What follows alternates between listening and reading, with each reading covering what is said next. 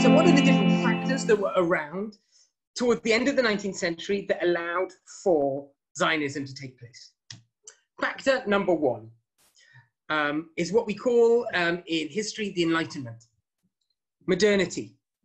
The idea that um, science, as opposed to religion, rules the world. In order to explain this idea, I've brought in front of you a painting. Anyone here been to London? Anyone been to London? No one's been to London. No one's been to, okay, uh, um, in London, in Trafalgar Square, there's the, the, the, the National uh, uh, Gallery. And in the National Gallery of Trafalgar Square, uh, you will see this one of these paintings. Um, and um, it's a painting by a man called Joseph Wright um, called A Bird in a Vacuum Pump. And um, it is a metaphor or an image of what modernity or the Enlightenment was. Um, I think we all know as, as products of modern scientific world, what happens to a bird when you put it in a vacuum pump. It's not going to last very long. It's going to, to, to have its last day. And this is what this image is of. It's a, uh, it's a, if you can have a look, can you see my, I hope you can, can you see my cursor go around, highlight? And this is a vacuum pump, like a, a, glass bell jar with a bird inside of it, with this kind of like duck, uh, uh, uh, what's his name from, uh, from Back to the Future, some kind of like mad scientist uh, a kind of figure that's looking at us, that's doing this scientific experiment uh, where he puts a bird into a vacuum pump and it's going to about to die. And you've got all these kind of like aristocratic kind of people all gathered around looking at it. And what's very interesting about the, about the picture is where's the source of light in this picture? Unmute yourselves and someone uh, join in with me. Where's what's the source of light in the picture? Where does the light? Where does the people in the in the in the paintings light come from? It's something on the table, it looks like. Right, right, right. It, it's from the experiment itself. The light, the knowledge, light is a metaphor in art for knowledge or understanding or revelation, comes from the science.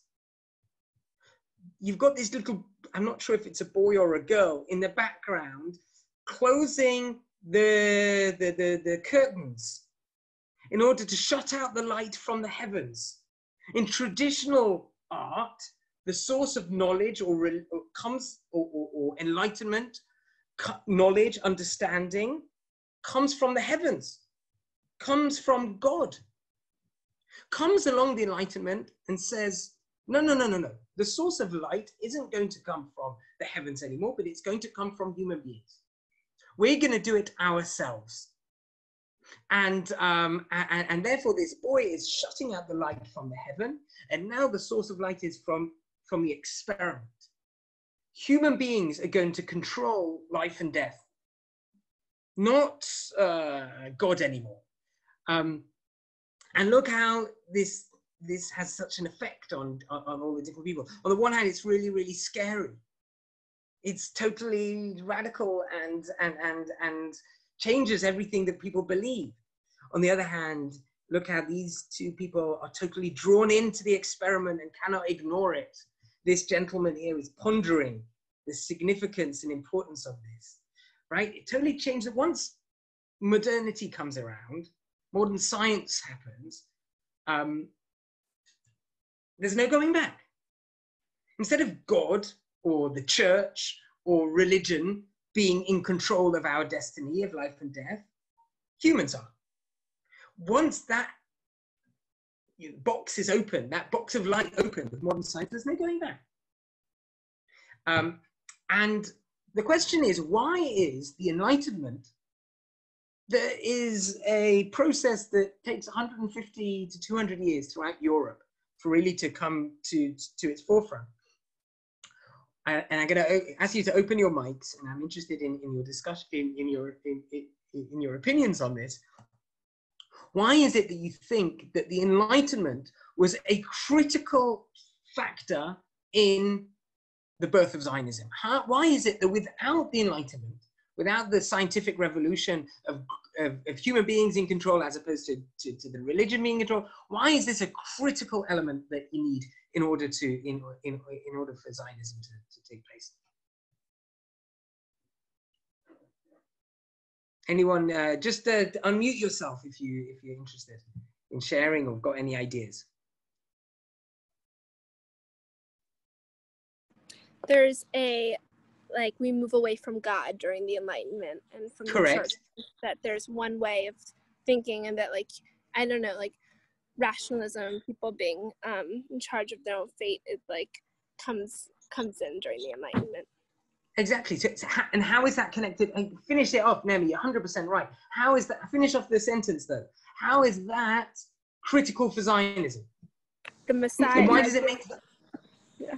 Go the idea of the, the Messiah, the idea of us waiting for the Messiah or for God to bring us back to Israel. It's this idea, no, like people, we have to do it ourselves. We exactly. We're not going to sit. Brilliant. We're not going to sit around and wait for the Mashiach to come, the Messiah to come, and the shofar blast to blow, and there's going to be this amazing miracle. And we're all going to fly on eagle's wings back to back to the land of Israel. No. If we're going to be redeemed, if we're going to be saved, we're going to have to do it ourselves. So factor number one that enables Zionism to take place is the, is the Enlightenment. What's factor number two? And this is a trick question. Factor number two is the emancipation of the Jews that took place uh, uh, um, in Europe from the end of the 18th century right through to the 19th century, the beginning of the 20th century.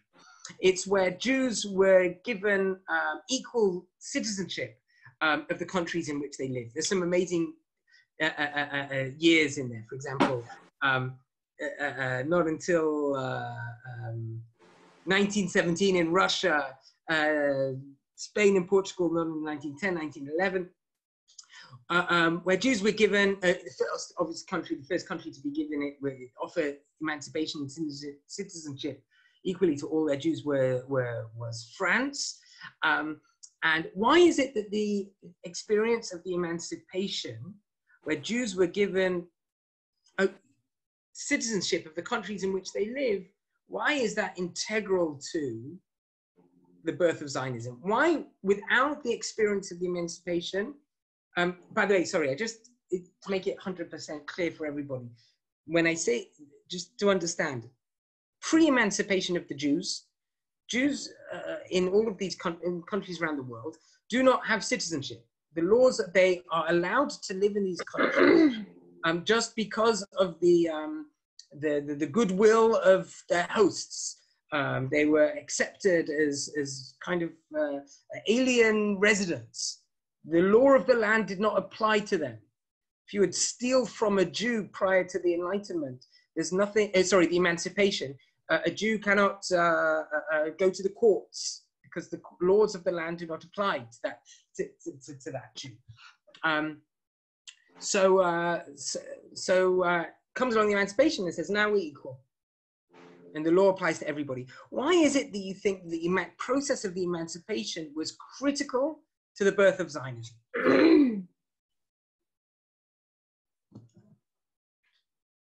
I'm just going to turn on my fan because I'm very. Um, yeah. Anyone, anyone? It's uh, by the way, I, it's a tricky one. This one because it's a trick question. Anyone think why is it that the experience of emancipation of becoming equal is counterintuitive, right? When I feel at home in the country that I live, Germany, France, UK, America, I don't want to go back to some other land, Israel. If I'm now equal and I'm the, the world, it, it, it, the have equality. You know, let's take example of countries where you've got great levels of emancipation. Why would you want to become a Zionist if now, for the first time in however long, hundreds of years, Jews are now accepted as equal citizens at the end of the 19th, throughout the 19th century? Why would that push someone towards being a Zionist? Yeah, go, Rachel.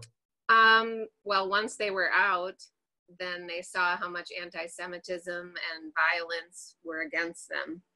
So it's a double-edged sword, and I, I'm going to challenge you because you're right, but I want to I, I want to sharpen it even more, Rachel. you're, you're right, but but but there's always been hatred of Jews throughout the Middle Ages. I don't need the emancipation to teach me how much Jews were hated throughout Christian Europe for hundreds and hundreds of years. Massacres, expulsions, uh, uh, forced to live in ghettos, you name it.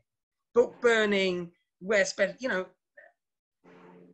Well, uh, I mean, blood, li- very, blood very violent, and they need. They saw that they needed a place, and they were also educated then in the emancipation.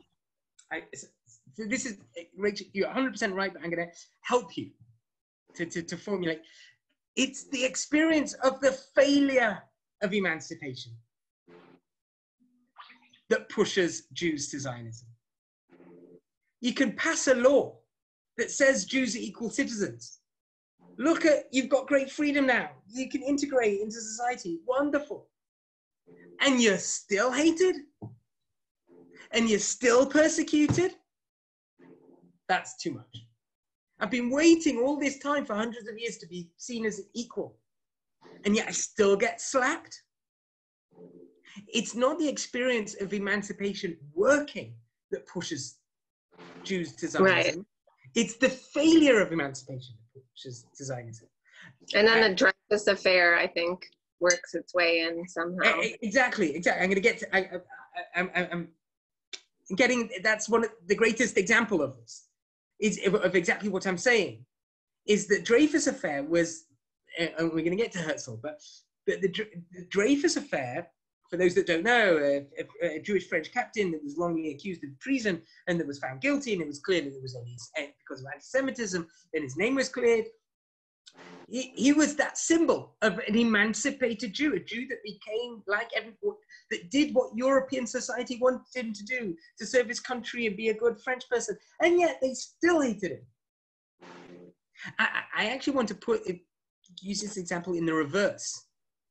In the United States of America, is one of the countries where Jews experienced the greatest success of emancipation compared to Europe. Jews throughout, especially the 20th century, did brilliantly in the States.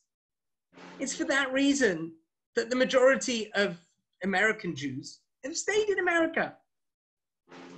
Right? It's the truth. Emancipation works. Life is good on the whole. Wie Trainer.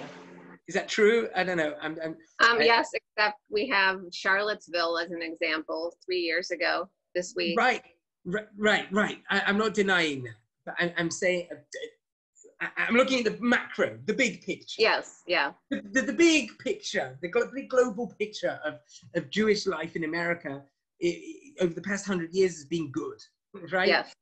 And Jews have flourished in America, and Jews have integrated into life in America. And it's for that reason uh, most most don't think, oh, I must go and leave, right? It's we always have our bags packed. right yeah yeah just in case Yeah. uh, but exactly but it's the experience of that's why it's a trick question when emancipation works jews tend not to be pushed towards zionism and pushed towards israel it's the experience of the failure of emancipation yes. that pushes them. And why does it push them? You're 100% right for bringing up the Dreyfus Affair. It's because of this new phenomenon that comes about also um, in the 1870s, towards the end of the of the um, of the uh, um, of the of the 19th century.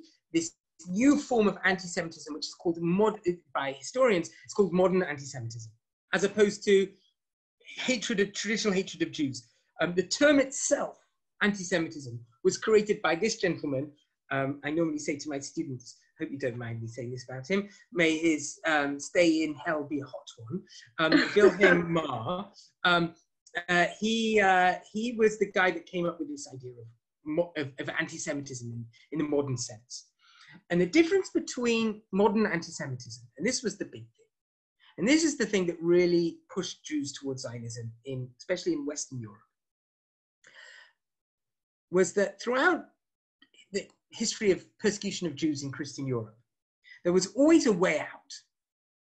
If you didn't want to suffer for being a Jew because of hatred of Jews, there was a way out. And it was very, very simple. What was that? convert, accept Jesus as Christ, and uh, we're not going to hate you. You, you, you're even better. That's what they wanted. Comes along modern anti-Semitism. Remember, it's now the, the time of the Enlightenment. Science and modernity dictates the way in which the world works, and not um, God and religion. We still want Jews to be hated for whatever reason. And so, therefore, Wilhelm Marr comes up with this idea and says, actually, it's not because of their religion. It's not because they, they didn't accept Jesus as the Lord, Jesus as the Messiah, Jesus as Christ, why they need to be hatred. It's actually something in their blood. It's actually something racist, it's racial. There's something intrinsically bad about Jews and their culture. It's got nothing to do with the faith that they have. Obviously, the most extreme expression of this is uh, the fascism of, of, of, of Adolf Hitler and, and, and, and, Nazi Germany. Uh, to, to, show an example of this, I've got this, this, cartoon, this Nazi Germany, German cartoon, uh, children's cartoon, where you've got these uh, very stereotypical anti-Semitic caricatures of Jews, uh, you know, fat and ugly with a big nose. Um, but you'll notice that they're not coming out of a synagogue, they're coming out of a church, and this is their priest, and they're holding their um, Christian prayer books or Bibles, and they've got the rosary beads. Um, but the caption says, even the baptism didn't make him a non Jew, was the caption. In other words, even if they become converts and become Catholics, become Christians, they're still Jews. They're still really Jews. By the way, just an interesting thing to think about. How many, we all know that six million Jews were killed in the Holocaust. How many of those Jews were practicing Christians? The Nazis defined Jews not in terms of their religious practice, but in terms of their racial background. So, how many of them do you think were Christian, practicing Christian?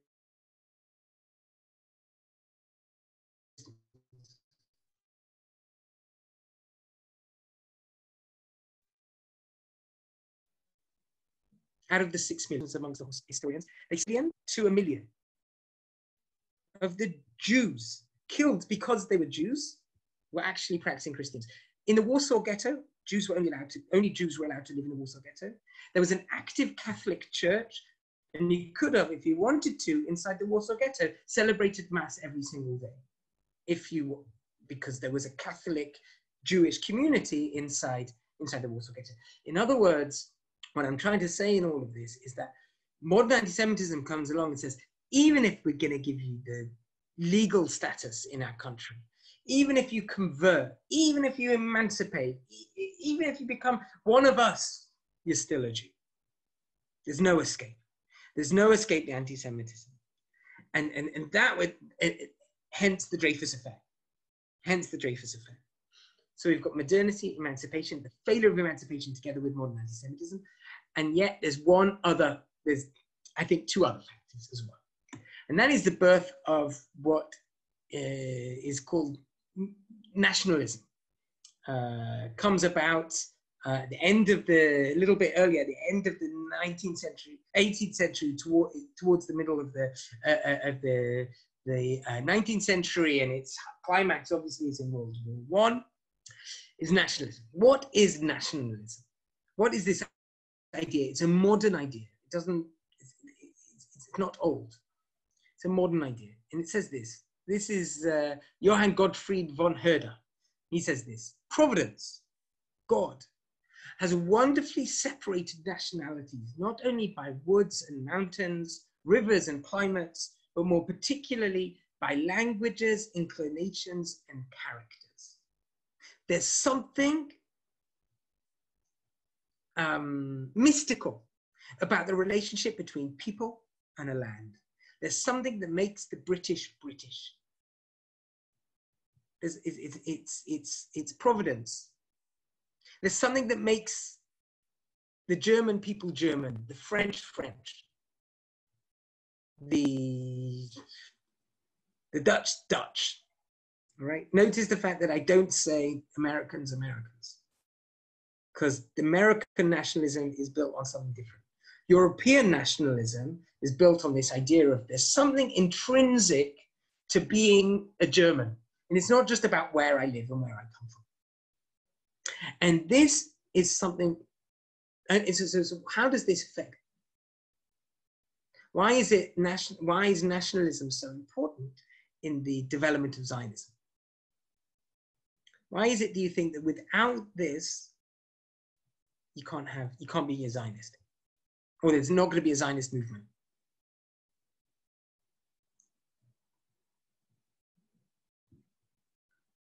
The point I think is is that it was at the exclusion of Jews.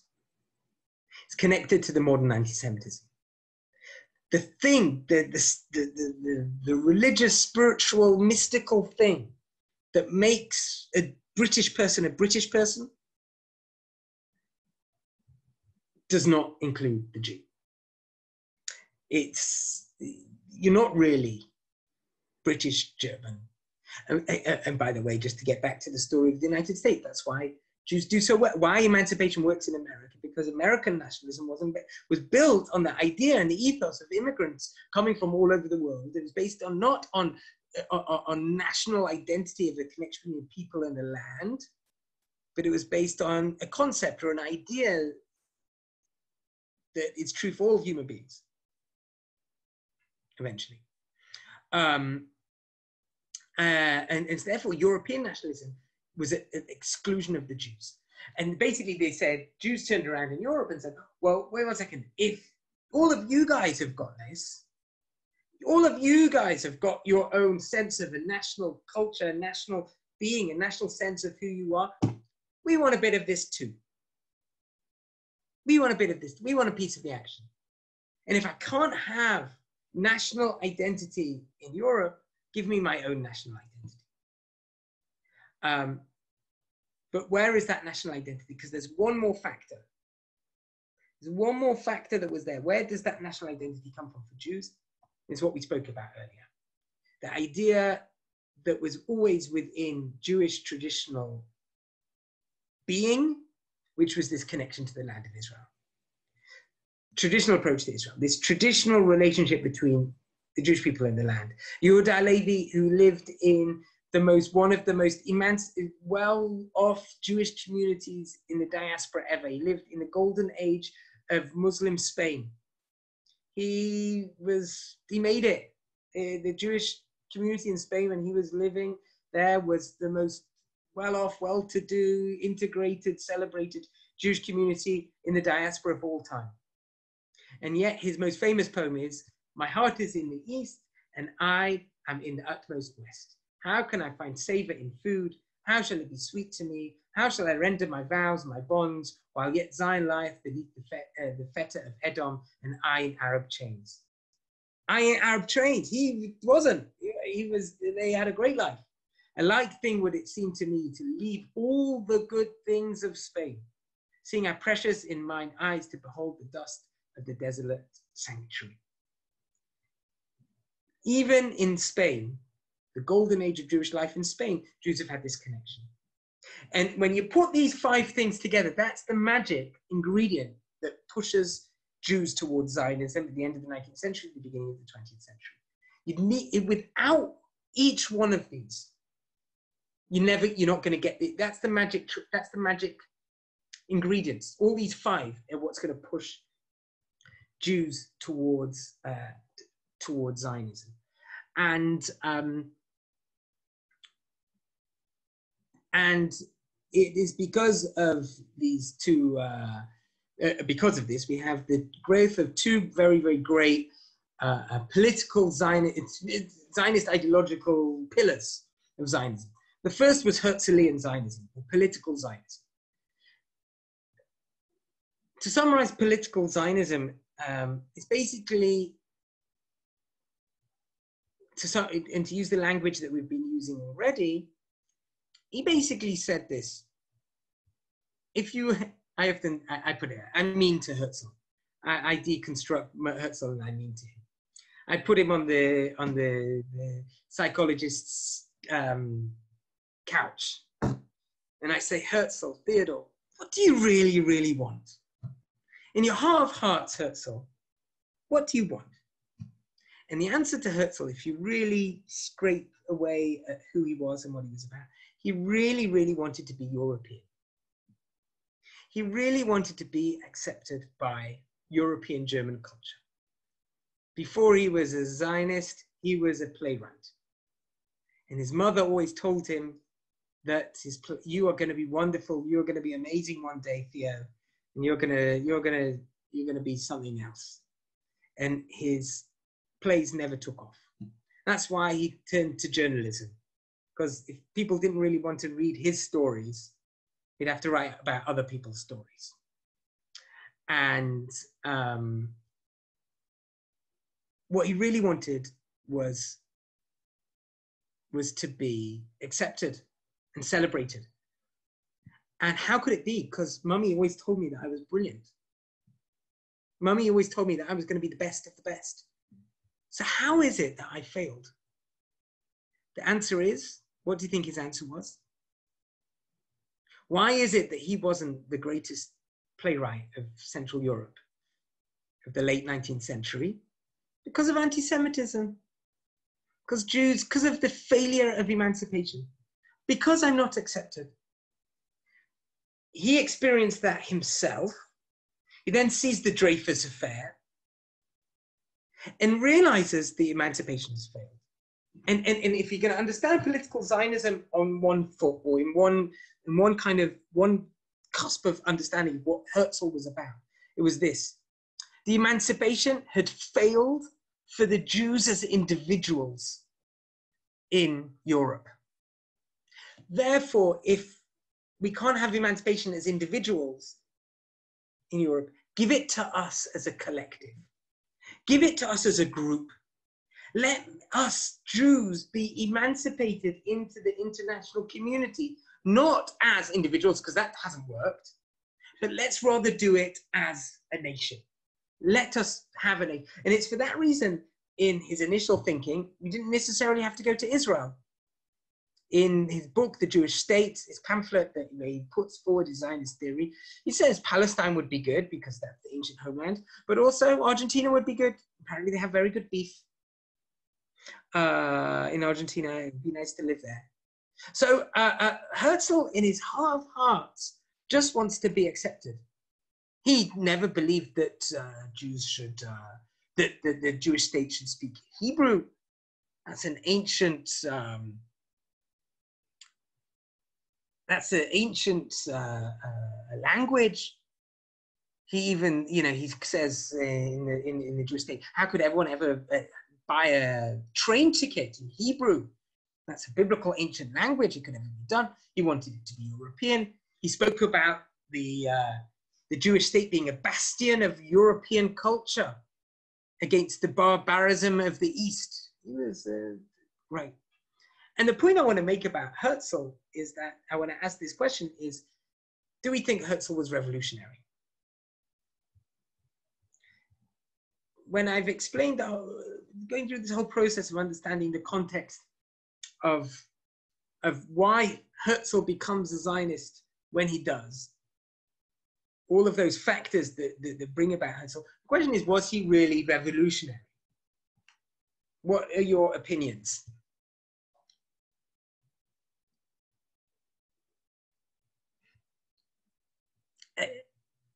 A revolution is a radical departure from the past.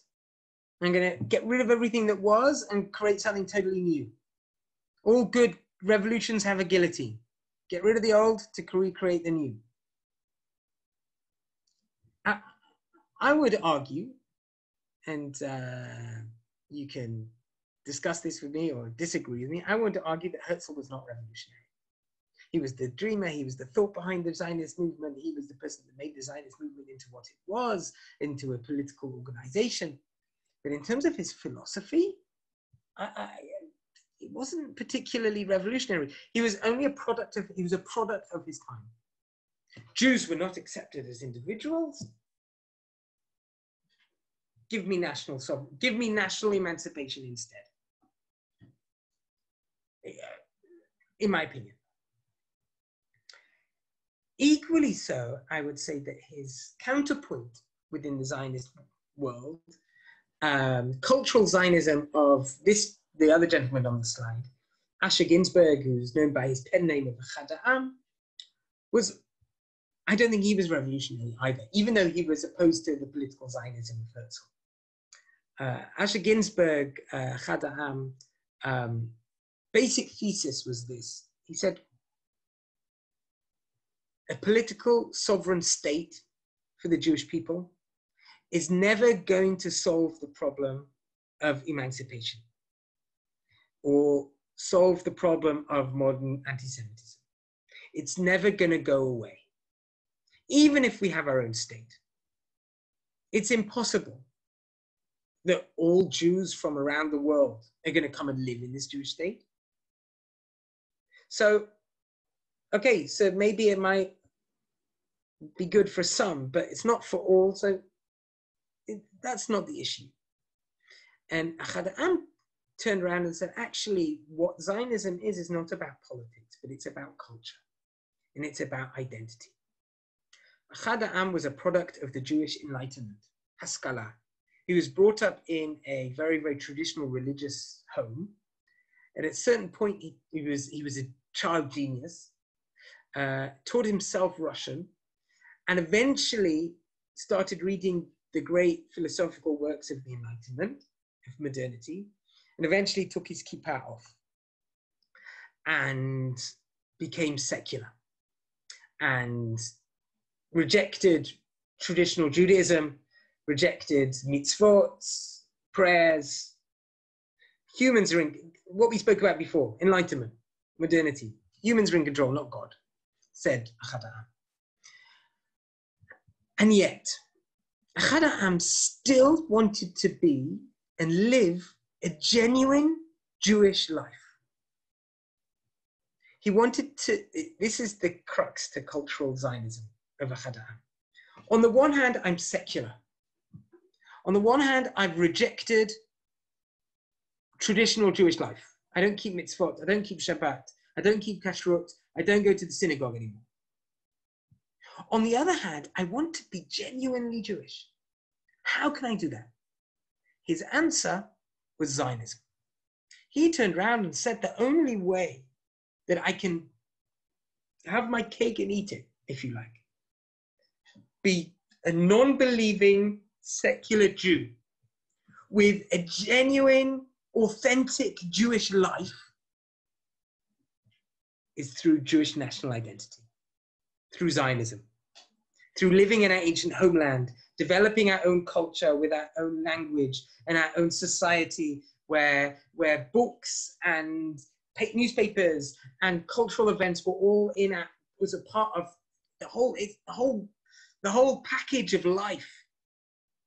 Not just the synagogue, but and not just, you know, ritual, but everything in life becomes Jewish. That is what is going to allow me to be both a secular non-believer, someone that does not believe in God, and at the same time be genuinely Jewish. This was Achad Ha'am.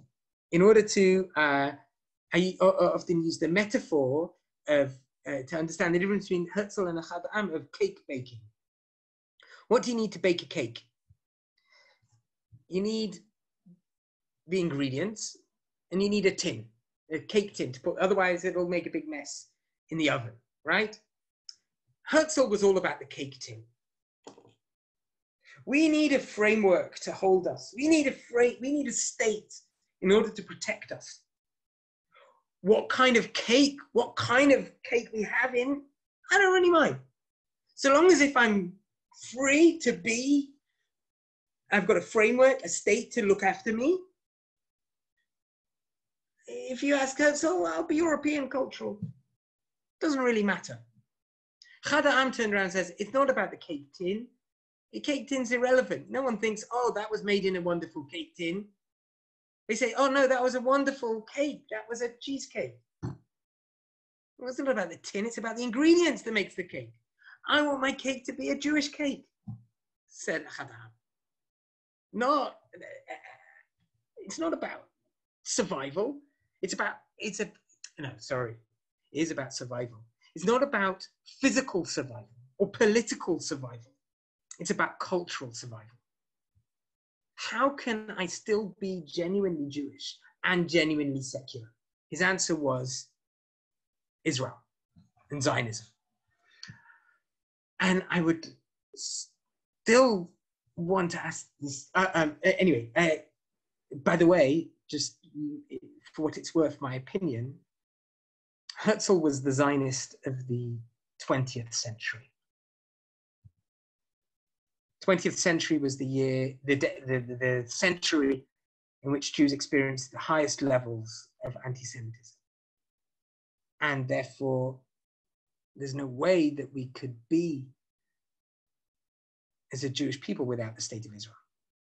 I think the 21st century, hopefully, isn't going to be about the physical existence of the Jewish people, but the spiritual Jewish, but the, not just about the physical existence of the Jewish people, but the spiritual existence of the Jewish people. What does it mean to be? I don't want to, I don't believe it. I'm not religious. I don't want to go to shul. I don't want to pray. But I want to be genuinely Jewish. That, that's the question that Chada has. And I think that's the question of the Jewish people of the 21st century, as opposed to the political Zionism of the 20th century. Um, but anyway, I'd still like would would would argue that Ahad is not revolutionary as well. He is basically also a pro- he's a product of his times. He's this product of saying, I, I, I want to find a way of being Jewish in my time. Okay, let's have let's have a national homeland uh, uh, uh, in, the, in our ancient homeland. Great. But I don't believe he's revolutionary. The real revolution of Zionism, in my opinion, really takes place subsequently, after Herzl and after Ahad and it's during the time of what is called in, in, in, Zionist history the second Aliyah. Second Aliyah that starts in, in 1904 and lasts for 10 years until the outbreak of World War I in 1914, was a wave of immigrants that came mainly from Eastern Europe um, um, as a wake of terrible pogroms in, uh, in, in Eastern Europe. They were also very much influenced by the beginnings of socialism in Russia and Marxism and the beginnings of the, the socialist revolution that's going to take place. And in the wake of that, they decided to come to Israel in order to totally revolutionize what it meant to be a Jew. Um, one of the greatest um, expressions of this revolution was through a very famous, horrible poem written by uh, one of Israel's most famous poets, Chaim Nachman Bialik. He was a student of Ahad Ha'am, member of Chovevei Tzion, that in 1903 was sent to a town called Kishinev, uh, where in 1903, in April 1903, there was a terrible uh, pogrom in which 49 Jews were brutally murdered. And he writes a poem and he, oh, sorry, and he was sent there to Kishinev in order to investigate what he saw. And he writes a poem called The City of Slaughter, in which he describes and create the Jews of Kishinev that, that were victims of this, of this uh, terrible pogrom. And um, it's a terrible, horrible, horrible poem um, where he describes how passive and weak and pathetic the Jews of Kishinev were. As the, as, the, as the women were being raped, the men were hiding behind barrels, watching, um, not doing anything to protect them.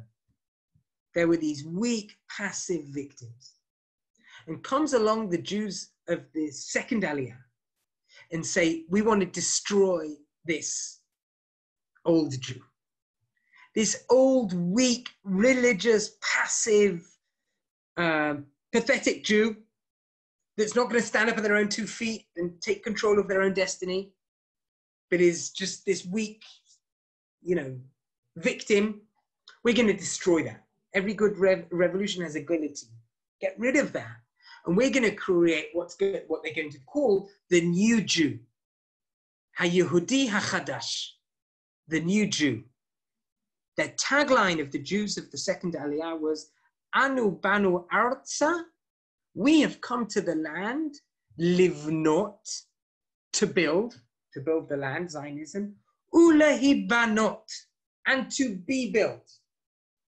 Not only are we going to build the land, we are going to rebuild ourselves in a new image, in a new way. And this is the really what was the revolution of Zionism. This was the Zionism of, of, of saying we're going to build something new. Now, one of, in order to ex- explain this revolution in the in the minutes that we have left, I want to show you this book that I have. It's it, it's a lovely book that I found a little while ago. It's called um, Visual uh, Blue and White in Color: Visual Images of Zionism, and, and it's basically a book of Zionist uh, propaganda posters. And in it, I've selected a few that really show us this image. If Bialik creates this um, stereotypical image of the old Jew, what I want to paint for you now through these images is are the images of what this new Jew is, what this new idea is. So let's have a look and see what we've got. This one is a, a um, front cover of a Zionist uh, journal called Hakeshet. At the bottom left, you've got the uh, the um, uh, what's it called the, the the the contents of the journal, and this was the front cover. What's interesting about you can let's do this one together. Everyone have a look. Why why is what's revolutionary about this image within a Jewish context? Who is leading who in this poster, picture?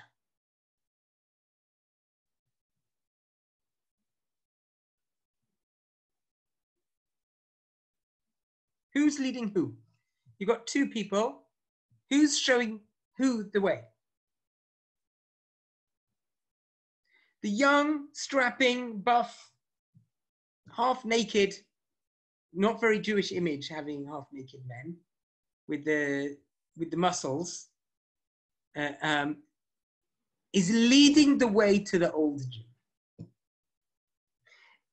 The young are going to lead the way, not the old. In traditional Judaism, we always have this idea of reverting back to the tradition. It's the elders. I am defined by my heritage. My name is Yaakov Binyamin Ben Gershon, the son of Gershon. I am defined by my past. Comes along Zionism says, no, no, no, no. It's not going to be the old leading the way, it's going to be the young leading the way. Idea number one of this new Jew, youth leadership. Ah, I love this one. This is an amazing uh, uh, uh, uh poster. This was the poster that was put on the front cover of the brochure of the sixth Zionist Congress of Basel in Taf Resh Samach Gimel, which is equivalent to 1903. And the tagline of it was Hazorim bedima barinai soru. Those who sow in tears will reap with joy and reap in joy. And what's amazing about this is that does anybody know what was the hot topic of the 1903 Sixth Zionist Congress of Basel? Does anybody know what was discussed in that Zionist Congress? That was the year of the famous Uganda debate. Anyone remembers that, that, that Herzl put forward this idea of, uh, of Jews going to uh, Uganda uh, in Africa as, a, as an immediate response to the pogroms of 1903. And the British came up with the idea, and it was a massive, massive debate. While they were debating that subject, should we or should we not go back to the land of Israel? This was the image on their laps, on their on the front cover of the uh, of the brochure uh, of the of, of the Zionist Congress, and and it showed it was a done deal. They were never going to accept you, Uganda. Why? Look, what's this sec- this next idea that's found of this new Jew? Look where the redemption comes from. Look where light comes from. This heavenly figure of this angelic, angelic, winged kind of goddess. I don't know what. Uh, uh, where did, where's she coming out from? She's coming from the sky, from God. Where's the light coming from? From heavens? Where's God coming from? Where's the light coming from? The ground, the, the wheat, the earth. Our redemption is going to come through working the land. We're going to work the land ourselves. If we rely on others, it's never going to get done. Um, so that's that. Next um, is another wonderful one. Uh, again, it's this relationship to the past. And Jacob shall return and none shall make him afraid. Look at these young, active, healthy Jews. By the way, this old Jew isn't a Jew from the past. It's um, it's it's it's it's Jeremiah. It's the it's the it's the uh, it's the uh, what's it called the, the the the prophet showing people the way. Look, you're going to go back. A wonderful image as well. I love that one. Um, oh, this one's good. Uh, this is brilliant for JNF. Youth settlement in Palestine, Jewish National Fund, 111 Fifth Avenue, New York City. Oh, is that, is anyone, no, is that still, are they still the address of the JNF today? Do they still have premises on Fifth Avenue? That would be cool if they do. Anyway, um, and it's an advert for Land for Youth. And um, it's sorry to say this, I know it's the middle of the afternoon, um, and and and uh, it's very very sexual. This one, um, uh, lots of sexual imagery. Come to come to Israel, where everything's healthy and and uh, and, uh, and, and and youthful, and you can roll around in the hay and have a nice time. And um, this is it was this was this was this is what was going to draw young people to come to live in Israel. Instead of the, the, the old, um, stinted sexuality of the diaspora, this is young, healthy. Anyway, that's, uh, oh, this one obviously is, is, is the clear image of the new Jew. Uh, a nation reborn on its ancestral soul. Look at those big, huge muscles of this, this young farmer uh, that's in control, that's confident, that's looking out, not down. Oh, this is a good one as well. You Yemei Bialik. This is a worker. This is, uh, by the way, an advert for a, uh, a, a what's the word? A, a, a, poetry festival called Yemei Bialik in, in Germany, if I'm not mistaken. And look at this. It's, amazing. it's called Yemei Bialik, the days of Bialik. And it's amazing because you've got this worker. He's got the worker's cap and he's, he's got his and he's got his spade next to him. But he's in but he's he's learned. He's intellectual. On his break, he's reading a book. He's not just sitting around playing cards, smoking a cigarette, hanging out with the other with the other people. He's reading a poetry. The new Jew is a worker, but he's also a, a cult, interested in Jewish culture as well. Um, this is an interesting one because it's a it's the exception to the rule. It is a stamp that was sold in order to raise money for a youth movement called Bnei Akiva. And the tagline of Bnei Akiva was Torah, I don't know if you can see the word Torah there. Va'avoda, and work. Look at this young man. During the day, he works, and at night, he studies. So there's interesting that within this new Jew, there were those that were also, they were very much so in the minority, but there were also those that, that, that were still religious. Um, this one is an advert for a Maccabi event. Look at that very, very, very, very Jewish looking man, but yet very un-Jewish body. This is not someone that's been eating lots of cholent and kugel. And uh, this is, you know, a fencer, very strong, powerful physique. And, and, and Zionism re, wants to recreate this image of this Jew, this, this sporting uh, uh, uh an, an, an image. Um, I've got this one as well.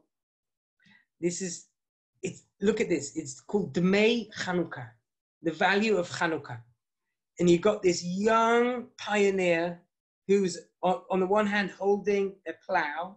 He's a farmer, but on the back of his shoulder also is a rifle because he's also a fighter. And look at his muscles and his short shorts, and he's ready. And he, he's going to farm the land and he's going to fight. And what's interesting about him is look who he's in the shadow of. He's in the shadow of a Maccabee fighter from the story of Hanukkah. It's not that the Zionists wanted to get rid of their relationship with the past. They liked the past. The point about it was is that they had a selective memory of the past. Who from the past did they want to emulate and who did they not want to emulate? There's the value of Hanukkah was very, very strong and popular because these were Jews that were fighting back, back against the evil Seleucid Greeks. That is someone to, to, and by the way, interestingly, in, in Israel, interestingly in Israel, um, Hanukkah was always traditionally the very most popular festival, and Purim not so much. Only comes about later during the fourth Aliyah, and Jews from Poland come to Israel, and, and Purim becomes popular. Why? What is Purim? Purim's the ultimate survival story of the diaspora. How did Jews survive the evil decree of Haman? By the Jewish beautiful princess using her sexuality in order to, to, to, to, to get the Jews to be saved. It's, it, it's anti-Zionist story, the story of Purim. Hanukkah was Zionist. Okay? And um, I'm going to end end there. Um, and, and, what I really want to say is that it's as a conclusion is that this idea of Zionism as a revolution, although it was very much, it, it, it was an evolution that brought about a revolution. The Zionism of the end of the 19th century was, was evolutionary, was a process that took place. Herzl and Ahad Ha'am were products of their time. The revolution, though, takes place when Jews come back to the land and rework what it means to be a Jew. And uh, that, I think, is, is, is, one of the most wonderful ideas about Zionism and what's so such a bracha and blessing of our times. That um, we've all got this ability, please God, uh, uh, um, the corona will go away and everybody should be able to, to, to, to um, come back to Israel as quickly as and, most often as you can, so that you realize that we can have this true relationship with Israel, and why by coming to Israel and being in Israel, we can in having this freedom and ability to to uh, to redefine who we are um, and, and and create and be masters uh, uh, and, and controllers of our own destiny. So that I think is is, is the Zionist revolution. Um, and that's what I had to say for this evening. So.